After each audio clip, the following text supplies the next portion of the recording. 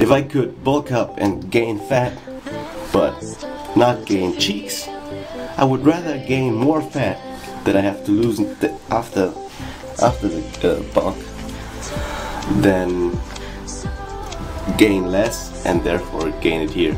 So I I hate it. I hate my cheeks.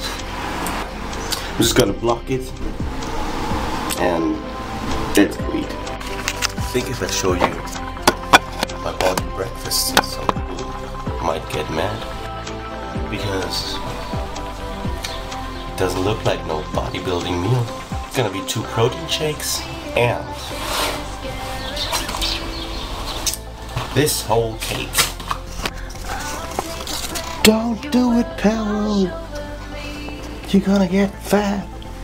No. Shut up. Let me enjoy my breakfast.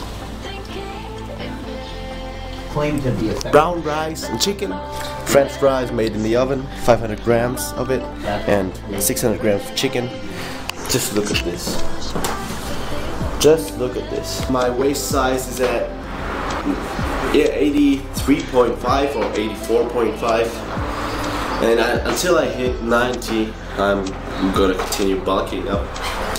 Then I'm gonna cut down. I'm, I, I plan on doing this like bulking up to 90 centimeters waist and then cutting down in one or two weeks with keto, get my waist thin again to like 83, 84, 82 and then just continue the cycle so that I don't get too fat but I can still smash some delicious food like this